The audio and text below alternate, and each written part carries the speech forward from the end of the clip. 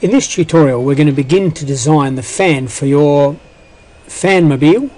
Um, the fan is intended to be no greater than 75 millimeters in diameter overall and it needs to have a 2 millimeter hole in the center to accommodate the shaft of the DC motor. So to begin with we'll start with a new file and we're looking for a part file so we go scroll down to find part we choose OK and then we ensure that all of these boxes are unchecked. We don't want to enable any of those things. So we choose OK. And now we will choose the pad, the sketch icon and the plane on which we intend to draw it. I'm now going to draw a circle and it, most importantly I want the center of the circle to coincide with the intersection of these planes so it's going to sit at the 0 0 intersection and you can see that um, by looking for this solid blue circle. So I click on the center, I come out a certain distance, it doesn't matter because I'm about to constrain that to a particular size.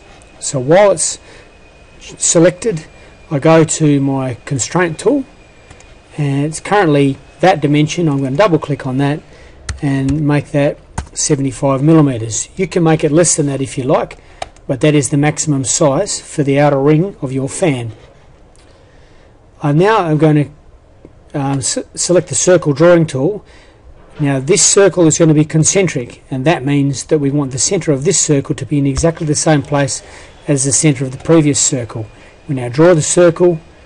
While it's selected we choose the dimensioning tool and we're going to make that one 72 millimeters and this will ensure that the, the, the width of the outer ring is going to be 1.5 millimeters thick because these dimensions here are diameters not radius.